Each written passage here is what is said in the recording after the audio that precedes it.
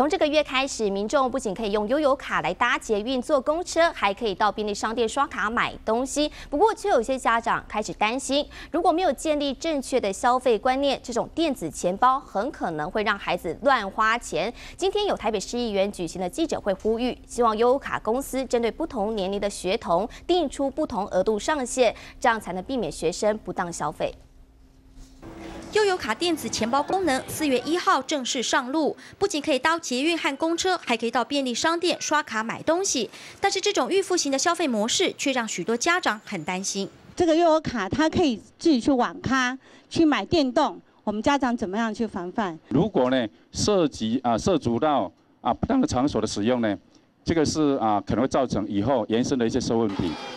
由于台北市各级学校学生的数位学生证与悠游卡联名发卡量高达三十六万张，小额消费上路后，悠游卡如同现金，有些家长就担心年纪比较小的孩童很可能因为没有正确的消费观念，很快就把钱花光光。因此，有市议员建议悠游卡公司应该针对国小、国中和高中生定出不同额度上限，避免学生不当消费。这完全是一个为了争夺市场大饼做成的公共政策。完全没有纳入使用者一个使用的基本权益的保障。